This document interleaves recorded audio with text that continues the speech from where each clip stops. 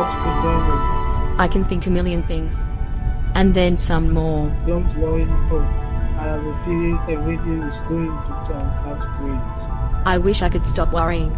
But I know the people around here, and I know my pa, and nothing ever turns out right for me. Be positive.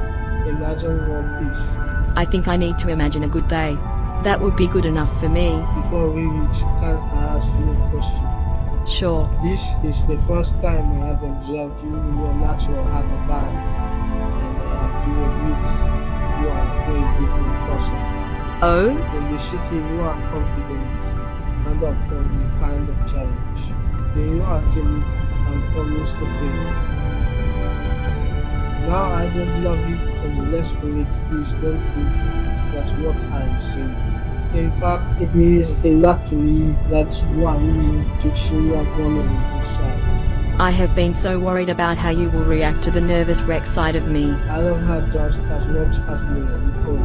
In fact, the side of you makes me feel needed like you need me to take care of you. Is that good or bad? Good.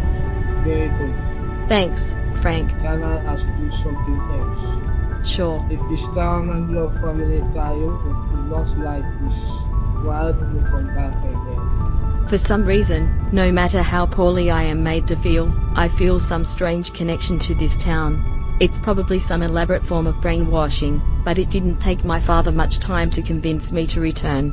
He really did need my help though. It is London. Not just that. He really needed to know that he hadn't been rejected by me after mom left. That's amazing, Nicole.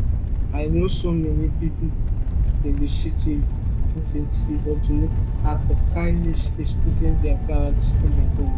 What you are doing seems much more civilized. Perhaps there is a lesson to be learned from the little people. Please don't let my daddy hear you call him a little people. How about country bumpkins or his from mistakes? How about neither? I was kidding.